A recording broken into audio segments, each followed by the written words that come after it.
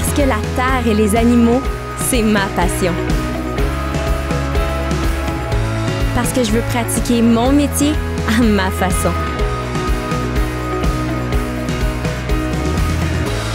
Parce que j'ai la chance de travailler avec de l'équipement professionnel. Parce que mes professeurs sont disponibles et passionnés.